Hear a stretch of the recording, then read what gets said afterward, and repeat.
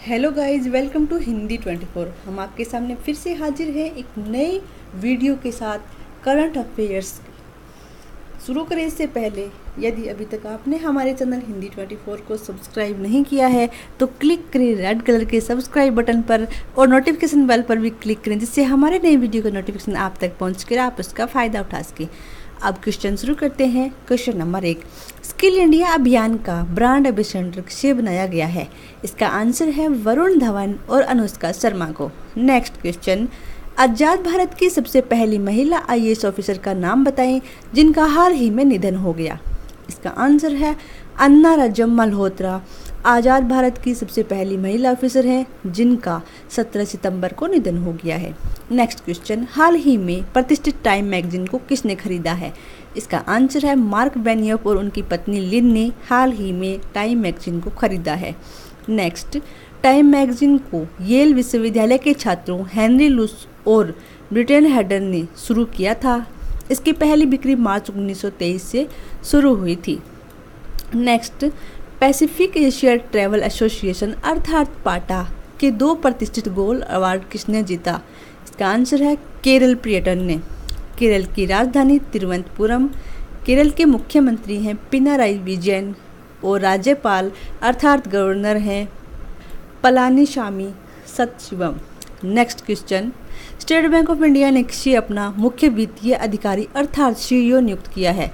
इसका आंसर है, प्रशांत कुमार को एसबीआई ने हाल ही में अपना सीईओ नियुक्त किया है। नेक्स्ट क्वेश्चन किस राज्य ने साइबर खतरों से निपटने के लिए साइबर विश्वविद्यालय स्थापित करने का निर्णय लिया है? इसका आंसर है, महाराष्ट्र ने।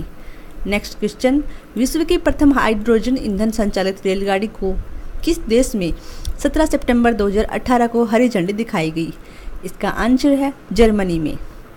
नेक्स्ट हाल ही में सॉरी ओडिशा के पूर्व मंत्री डाल गोविंदा प्रधान का निधन कब हुआ? इसका आंसर है 17 सितंबर को। नेक्स्ट क्वेश्चन किस देश ने पहली बार विवादित दक्षिण चीन सागर में पनडुब्बी अभ्यास किया है? इसका आंसर है जापान ने है। नेक्स्ट क्वेश्चन हाल ही में किस शहर में और स्कीम के तहत सुप्रीम कोर्ट ने दोपहिया वाहनों एवं महिलाओं को छूट प्रदान की है। इसका आंसर है दिल्ली ने। नेक्स्ट क्वेश्चन प्रधानमंत्री नरेंद्र मोदी ने 18 सितंबर 2018 को किस शहर में 500 करोड़ रुपए से अधिक लागत की परियोजनाओं का शिलान्यास किया है? इसका आंसर है वाराणसी, उत्तर प्रदेश में। नेक्स्ट क्वेश्चन ढाका, बांग्लादेश में आयोजित एस एफ़, दक्षिण एशियाई फुटबॉल फेडरेशन कप 2018 में कौन सा देश विजेता रहा?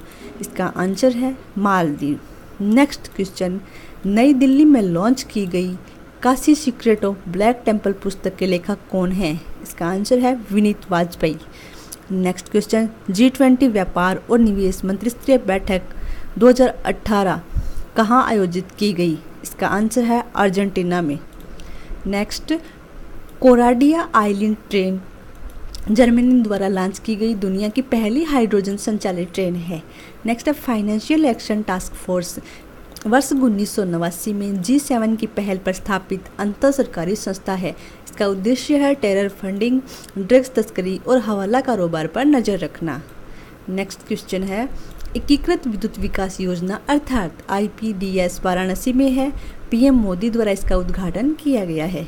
नेक्स्ट क्वेश्चन प्रधानमंत्री फ़सल बीमा योजना के अंतर्गत बीमा दावों के निपटान में विलंब करने के लिए राज्य और बीमा कंपनियाँ किसानों को बारह प्रतिशत की दर से ब्याज देंगी।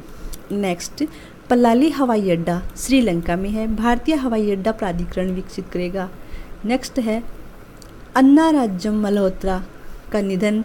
भारत की पहली महिला आईएएस अधिकारी हैं, जिनका हाल ही में 17 सितंबर को निधन हुआ है।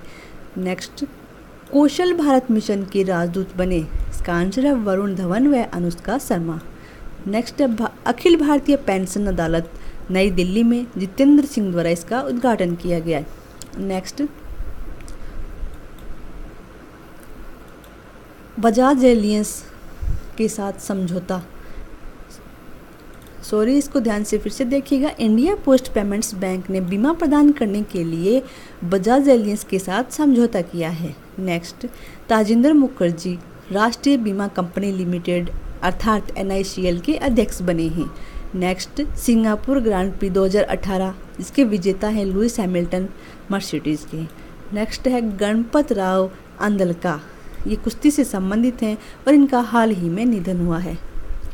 ये थे करंट जीके से संबंधित बहुत ही महत्वपूर्ण क्वेश्चन आपको हमारा वीडियो कैसा लगा और किसी भी क्वेश्चन में संशय हो तो कमेंट ज़रूर दें। हमारे वीडियो को ज़्यादा से ज़्यादा लाइक शेयर करें, जिससे हमारे सभी व्यूअर्स इसका लाभ उठा सकें। मिलते हैं अगले वीडियो में, तब तक के लिए नमस्कार।